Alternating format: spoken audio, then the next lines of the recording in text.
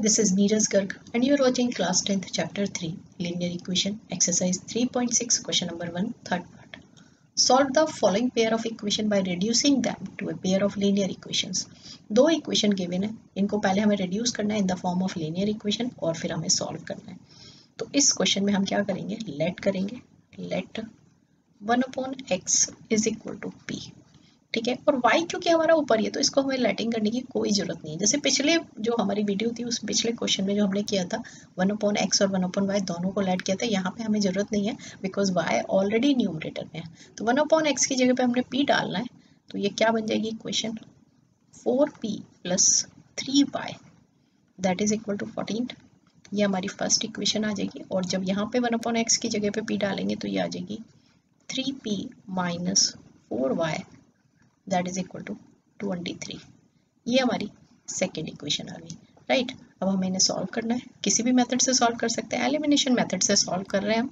इसको थ्री से मल्टीप्लाई कर दिया और इसको फोर से मल्टीप्लाई कर दिया, ठीक है? कॉफिशेंट इक्वल करने होते हैं क्योंकि हमें।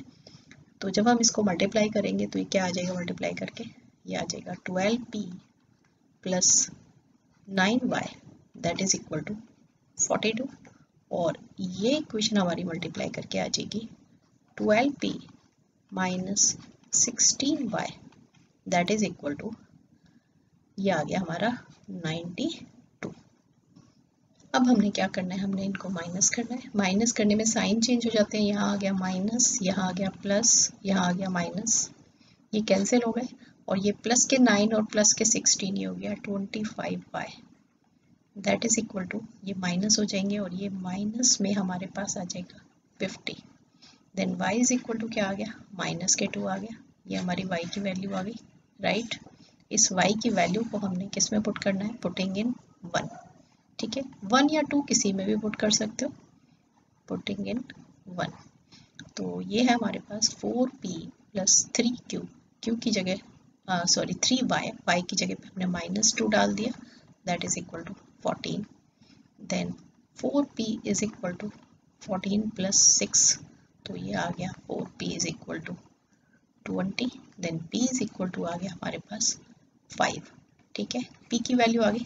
अब हमें p की वैल्यू नहीं निकालनी है, x की वैल्यू निकालनी है। p हमने क्या लेट करा था? यहाँ पे हमने क्या लेट किया था ये?